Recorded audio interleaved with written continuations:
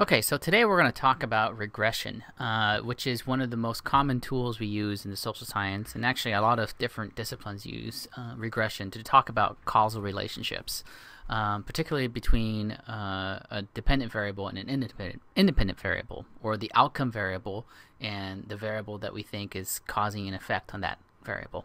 One of the most basic relationships that we think about between two variables is a linear one. So as one one variable goes up, the other one goes up a certain amount as well. One of the examples we were talking about last time was looking at um, the magnitude of an earthquake and the effect it has on the number of fatalities. And if you look at this chart here, we have here um, the dots represent each case value that we have recorded. So here we have a earthquake that was below a 6 0.0 and we have it corresponds to a, a number of fatalities. Like last time uh, we discussed, we're putting fatalities here in, in the natural log form. You don't need to worry about that.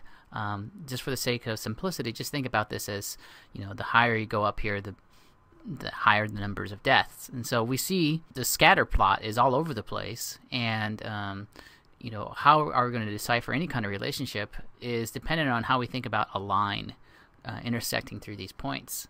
And regression analysis is really about drawing a line, but drawing one that's the most accurate. And here we drew several different lines just to show you that, you know, there's different options to think about this linear relationship. And regression is about choosing the best line that fits. One last note here is that you can actually build this chart on SPSS like we did in one of our videos at the end here. We'll just talk just about building charts. Um, but for now, just know that we created a chart somehow. Um, and and like I said, regression is about finding um, the line that best fits.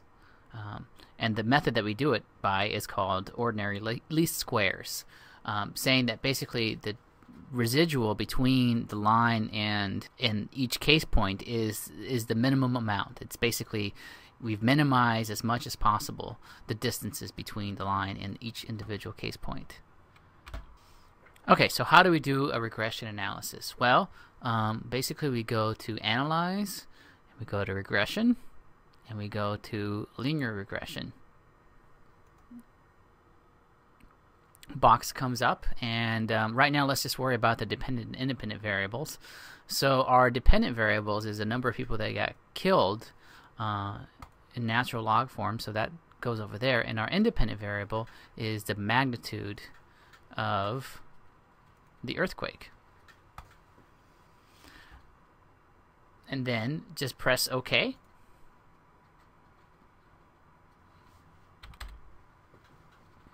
So anytime you run a regression analysis, several boxes will come up. Um, we have four boxes that come up, and it seems kind of scary at first, but it's uh, all pretty straightforward if you just take one thing at a time. The first one just tells you, you can kind of just ignore uh, about which variables were included and excluded. Uh, the second box is a model summary. It just basically tells you how well the model explains the amount of variance in the outcome variable. And um, here we're looking at the R square, which is basically saying that about 12.5% of the variance is explained um, in this model, um, which is okay for social science standards. Um, we would want this number to be higher, but it's okay for right now. The second box is an ANOVA analysis, uh, and it gives you the sum of squares. Um, tells you how much um, kind of variance is explained through the regression model as opposed to the residual. So you have the regression plus residual equals the total. And so you see that the regression is actually statistically, uh, it gives you enough statistics, and it's actually telling you that it's explaining a fair amount uh, of variance, or at least a significant amount. And then the last box actually gives you the coefficients uh, for that line. First, it gives you, like any line, you need a intercept, uh, y-intercept. Um, so that's the first constant that it gives you. So when uh, x equals 0, um, the line intersects the y-axis at negative 4.720.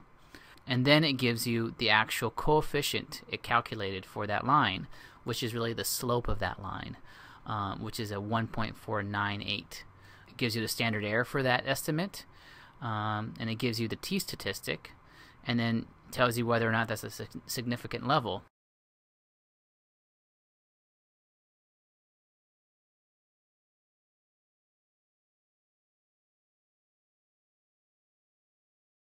And we can see here that um, in reading this uh, box, you can see that the effect of the magnitude of the earthquake has a significant effect on the outcome.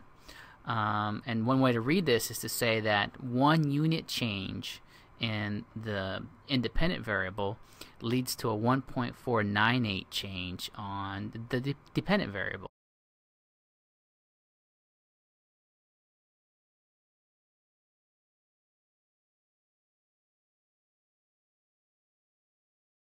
So we see kind of, uh, you know, every time magnitude goes up by one unit, uh, the outcome variable, according to our linear relationship, increases by 1.498 units.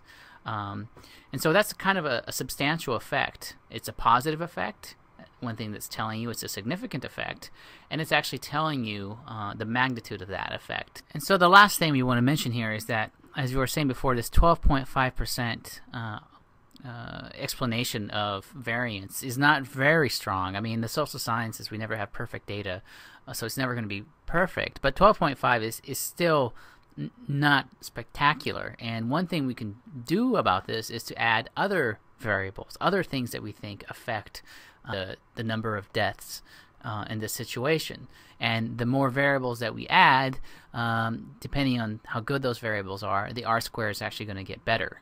Uh, or it's going to get higher. On the next video, we're going to show you how to add more uh, predictors that may improve this score.